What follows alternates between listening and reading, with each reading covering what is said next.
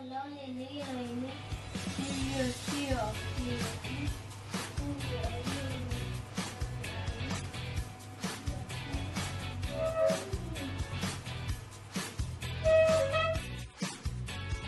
Friends today recipe முட்டை குழம்பு egg kurma so அதான் செய்ய போகிறோம் இப்போ அதுக்கு தேவையான பொருட்கள் என்னென்னன்றதை பார்த்துடலாம். நான் வந்து நாலு முட்டை எடுத்து வச்சுருக்கேன். தேங்காய் பால் எடுத்து வச்சுருக்கேன். தாளிக்கிறதுக்கு அரை டீஸ்பூன் சோம்பு சீரகம் அப்புறம் ஒரு பட்டை ஒரு ஒரு ஏலக்காய் ரெண்டு கிராம்பு எடுத்திருக்கேன்.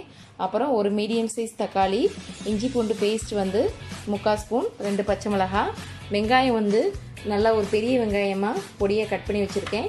அப்புறம் மசால் வந்து மிளகாத்தூள் ஒரு அரை அரை டீஸ்பூன் உப்பு மிளகு மஞ்சள் ஃபஸ்ட்டு வந்து முட்டையை வந்து அவிச்சு வச்சுருக்கேன். ஸோ இதை வந்து கட் பண்ணி வச்சுருக்கேன் அங்கங்கே.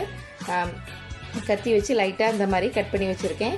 ஸோ நீங்கள் ஹாஃபாக கட் பண்ணி போடுறா இருந்தாலும் போட்டுக்கலாம். நான் வந்து ஃபுல்லாக தான் போட போகிறேன் இது வந்து நீங்கள் வந்து பராட்டா சப்பாத்தி ஃப்ரைட் ரைஸ் அந்த மாதிரி நீங்கள் வச்சு சாப்பிட்டுக்கலாம். இந்த எக் குருமா. இப்போ எப்படி செய்கிறதுன்றத பார்க்கலாம். இப்போ பேன் சூடாகிடுச்சு இப்போ ஆயில் சேர்த்துக்கலாம். ஆயில் வந்து ஒரு ரெண்டு ஸ்பூன் சேர்த்துக்காங்க.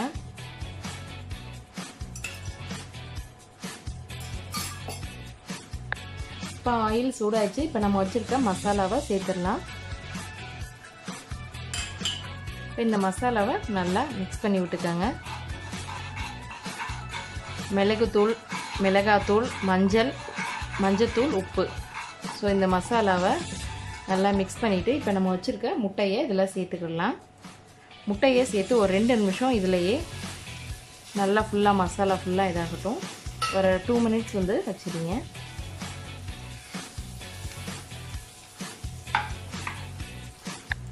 இப்போ ரெண்டு நிமிஷம் நல்லா குக் ஆயிடுச்சு. இதை ஒரு பிளேட்டுக்கு மாற்றிடலாம்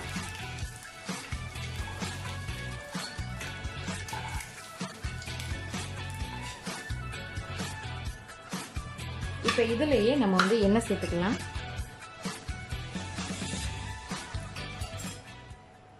இப்போ ஆயில் சூடாயிடுச்சு. இப்போ நம்ம வச்சுருக்க பட்டை கிராம்பு ஏலக்காய் பெருஞ்சீரகம் சீரகம் இது எல்லாத்தையுமே சேர்த்துடலாம்.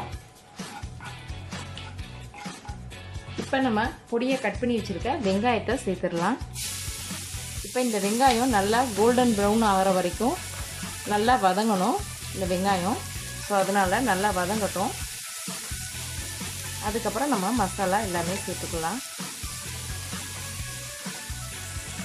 இப்போ வெங்காயம் ஓ- ஓரளவுக்கு நல்லா வதங்கிடுச்சு. இப்போ நம்ம வச்சுருக்க மசாலாவெல்லாம் சேர்த்துடலாம். இப்போ வந்து இஞ்சி பூண்டு பேஸ்ட்டு சேர்த்துடலாம்.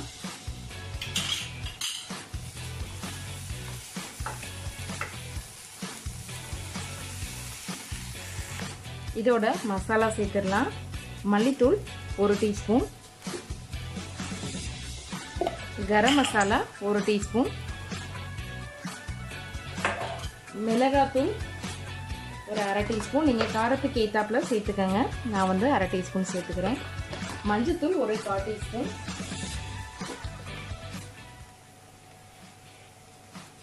இப்போ இது எல்லாத்தையும் நல்லா கலந்து விட்டுக்கோங்க.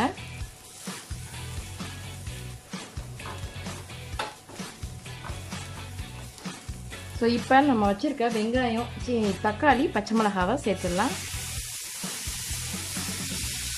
இப்போ இந்த தக்காளி நல்லா வேகணும். ஸோ இது வந்து நல்லா வேகட்டும். கொஞ்சம் லைட்டாக தண்ணி ஊற்றி ஊற்றிக்கலாம் இப்போ தண்ணி சேர்த்துக்கலாம்.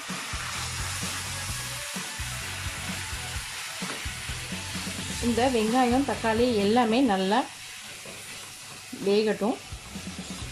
இதை மூடி போட்டு மூடி வச்சிடலாம். இப்போ இந்த கிரேவிக்கு தேவையான அளவு உப்பு சேர்த்து மூடி வச்சிடலாம். இப்போ கிரேவியை பார்க்கலாம்.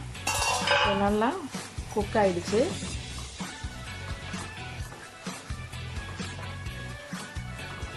நீங்கள் இந்த இதில் கூட நீங்கள் ஆஃப் பண்ணிடலாம்.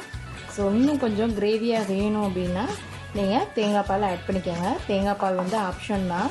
ஸோ நீங்கள் உங்களுக்கு இந்த மாதிரி போதும் அப்படின்னா நீங்கள் வந்து ஆஃப் பண்ணிடலாம். ஸோ கிரேவி வேணும்னா நீங்கள் எக்ஸ்ட்ரா வந்து தேங்காய் பால் மட்டும் இதோட சேர்த்துக்கோங்க.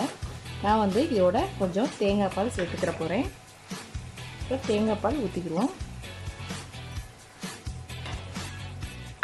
இப்போ நம்ம வச்சுருக்க முட்டையை இதில் சேர்த்துடலாம்.